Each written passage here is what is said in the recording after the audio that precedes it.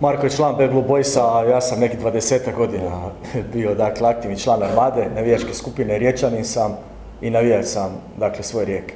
Ne postoji klasična inicijacija o kojoj vi pričate. Ne postoje neki sastanci na kojima bi grupa onda rekla sad idemo tu pa ćemo tu uvesti tako. Ne, to ne postoji.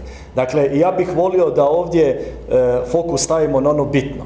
Ovo sve što vi govorite, to jesu bitne teme za neke okrugle stolove, za znanstvene rasprave, za sociološke rasprave, kulturološke i tako dalje.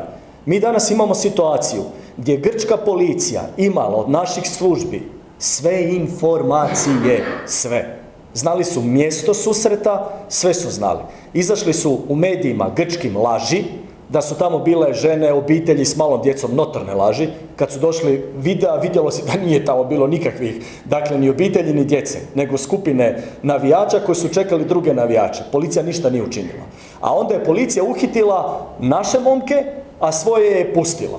Dakle, to nije pravedni sustav.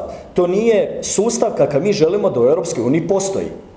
I takva unija nama ne treba.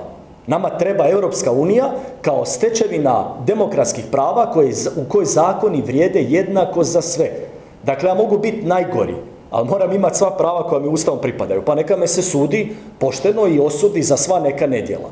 Evo i volio bih da to istaknemo i da tu poruku pošaljemo u hrvatsku javnost. Dakle, premijer mora učiniti sve što može da naše dečke vrati u Hrvatsku. Mi ne vjerujemo pravosudnom sustavu Grčkoj, životi naših momaka su u opasnosti, neka ih tu dovedu i tu neka im se sudi za sva nedjela koja su učinili, neka odgovaraju. Hvala vam puno. Svako dobro.